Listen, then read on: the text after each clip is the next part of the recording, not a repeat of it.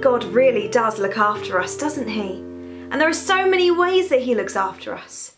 One of the most amazing ways that He looks after us is that He sends some people to keep an eye on us and keep us safe. Now, I wonder if you can work out who these people are.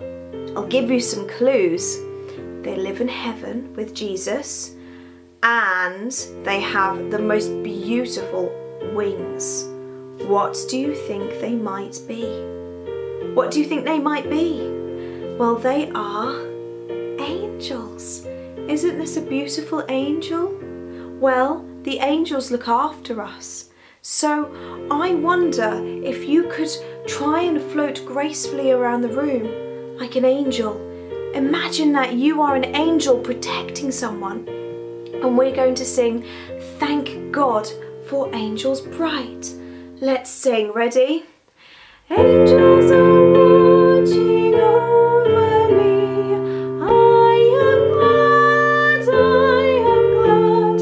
Angels are watching over me. Thank God for angels bright.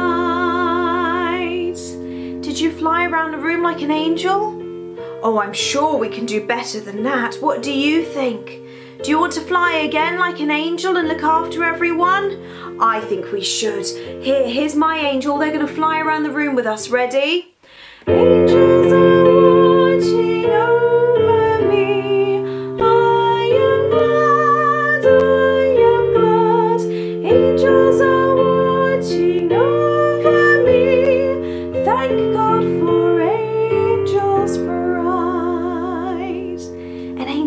do look after us, don't they? Isn't it wonderful?